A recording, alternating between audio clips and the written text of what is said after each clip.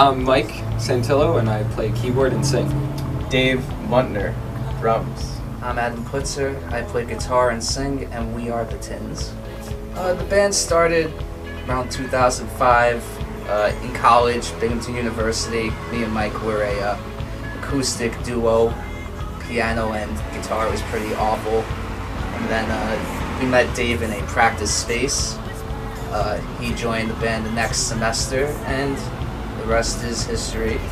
Can you tell me a little bit about your new record? We recorded it at Black Dog Studios in Stillwater, New York.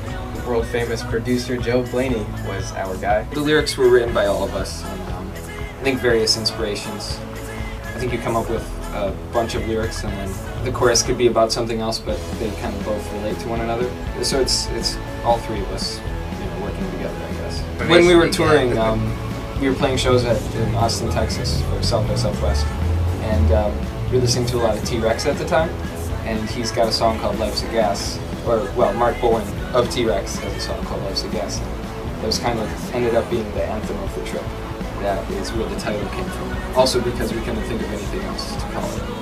Favorite songs to play live? Uh, I like playing the song Midnight Crowd a lot because on the record it's acoustic, very uh, ambient and live.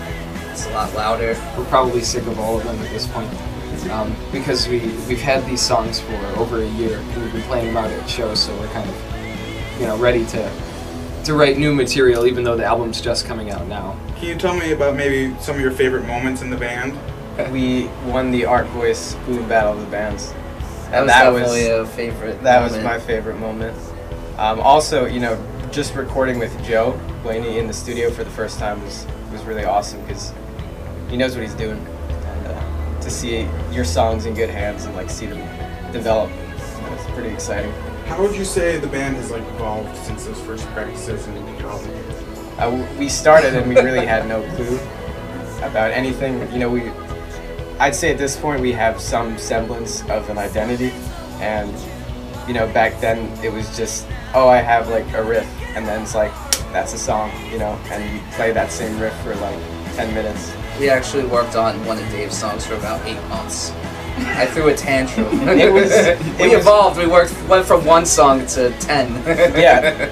Now when we write songs, we all collaborate more. Yeah, and the the uh, evolution of a band is not it's not something that just kind of like stops and like here we are. This we evolved into this. You know, it's something where um, we're probably evolving more now than before. Just kind of you know giving out the album and seeing some feedback. But we're, we're trying, we're, we're discussing more um, for our next album that we want to do.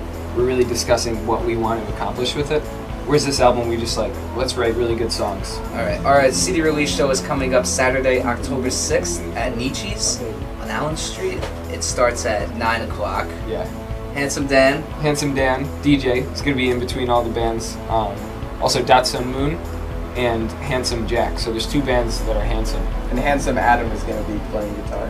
Thank you, Artvoice, for being very supportive of us and doing this interview.